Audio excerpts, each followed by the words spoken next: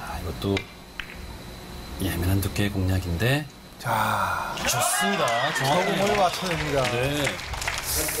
이런 피거치기 같은 경우는 진짜 남, 여자 선수들이, 선수들이 남자 선수들만큼 치는 것 같아요. 이, 딱 이런 얇은 두께의 피겨치기를 딱 치는 상황들은 진짜 잘 치는 것 같아요. 여자 선수들이.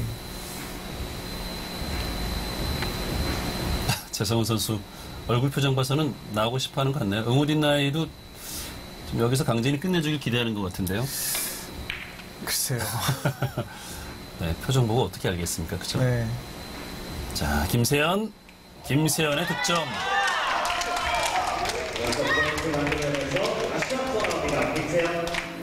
팔대 7입니다. 자, 세트 포인트. 아, 이렇게 되면 이 분위기는 거의 풀세트 갈 분위기인데요. 자, 마지막 배치도 나쁘지 않아요. 대회전이 좋게 서 있습니다. 오늘 기록 세우겠는데요. 그죠? 1세트 첫 경기, 두 번째 경기, 지금 세 번째 경기 다 풀세트까지 네. 되면 지금 개막 세 경기가 전부 풀세트가 되는 거잖아요. 그만큼 치열하다는 거죠.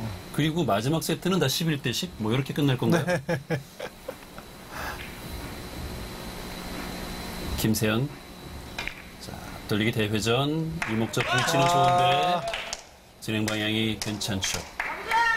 이렇게 마지막으로 갑니다. 그렇습니다. 김세연의 마무리를 지었습니다.